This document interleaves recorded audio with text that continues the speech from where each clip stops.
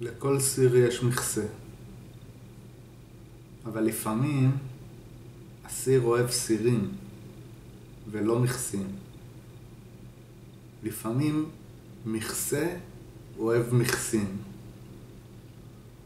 לפעמים סיר מרגיש שהוא מחבת. לפעמים שני סירים מתכסים במכסה אחד. לפעמים יש מטבח שלם, חגיגה של סירים ומחבטות ומכסים. ולפעמים, לפעמים יש צלחת.